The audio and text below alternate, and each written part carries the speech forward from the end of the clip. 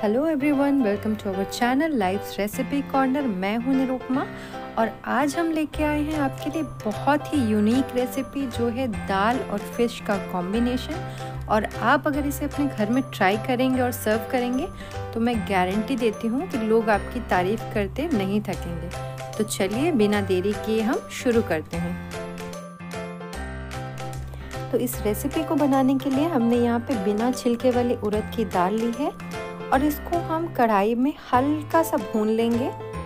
इसको मैंने अभी तक वॉश नहीं किया है, इसको सूखा रख के ही इसे हल्का सा भून लेना है। और जब ये अपना खुशबू छोड़ दे तो हमें गैस ऑफ़ कर देना है और इसको थोड़ी देर तक भिगो के रखना है। मैंने इसे एक घंटे जैसा भिगो के रखा था। तो ये रेसिपी को बनाने के लिए आप कोई भी फ़िश ले सकते हैं। आप चाहें तो होल फ़िश ले लें या खाली फ़िश हेड भी यूज़ कर सकते हैं। यहाँ पे मैंने कॉम्बिनेशन लिया हुआ है। और इसको हल्दी नमक में मैरिनेट करके रखा है।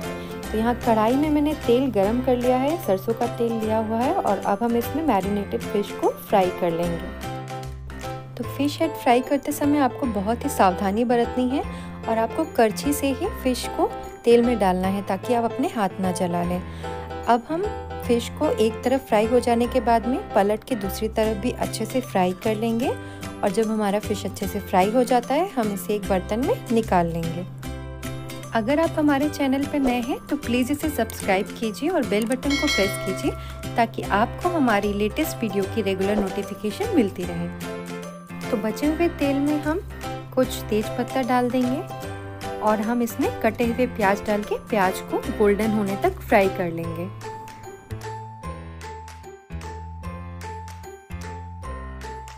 तो प्याज हमारे गोल्डन ब्राउन हो चुके हैं। अब हम यहाँ पे one tablespoon ginger garlic paste add करके इसको मिला लेंगे।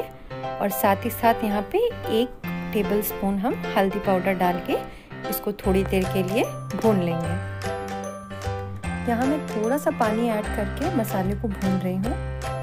तो ये मसाला जब भून गया है, अब हम इसमें one tablespoon coriander powder और जीरा पाउडर दोनों डाल के मिला लेंगे। साथ ही साथ हम इसमें रेड चिली का पाउडर भी डाल देंगे। आप चाहे तो रेड चिली पेस्ट भी डाल सकते हैं और मसाले को हम अच्छे से पकने देंगे।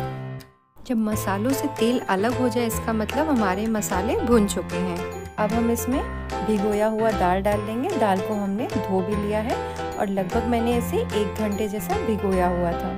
अब दाल डाल के हमें इसको मसालों में अच्छे से मिक्स करना है और करीब सात से आठ मिनट तक मसालों के साथ में भूनते रहना है। तो अब हम दाल में नमक डालेंगे स्वादानुसार और इसको अच्छे से मिक्स कर लेंगे। तो अब हम इसमें पानी ऐड करेंगे। यहाँ पे मैंने 500 ग्राम दाल में एक लीटर से ऊपर पानी डाला है। दाल की थिकनेस आप अपने हिसाब से एडजस्ट कर लीजिए। क्योंकि यहाँ पे कुकिंग में भी थोड़ा टाइम लगेगा तो पानी यहाँ पे मैंने थोड़ा और डाल दिया है ताकि वो वेपर होके दाल की थिकनेस एडजस्ट कर दें।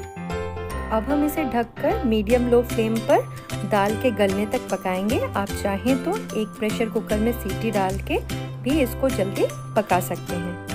तो लगभग 40 मिनट हो गए और हमारा दाल जो है वो गल चुका है। अब इस स्टेज पे हम इसमें फ़िश डाल देंगे और फ़िश का जो हेड है उसको हम थोड़ा सा ब्रेक कर लेंगे और इसमें डाल देंगे। और डालने के बाद हमें इसे और पाँच से सात मिनट पकने देना है। पाँच से सात मिनट बाद देखिए दाल की थिकनेस ये है, अब हम इसमें थोड़े से हरे मिर्च ऐड कर रहे हैं। नमक टेस्ट करके आप अगर कम ज़्यादा हो तो ऐड कर लीजिए। और यहाँ पे मैं भुना हुआ मसाला ऐड कर रही हूँ। मसालों की डिटेल्स आपको डिस्क्रिप्शन बॉक्स में मिल जाएगी।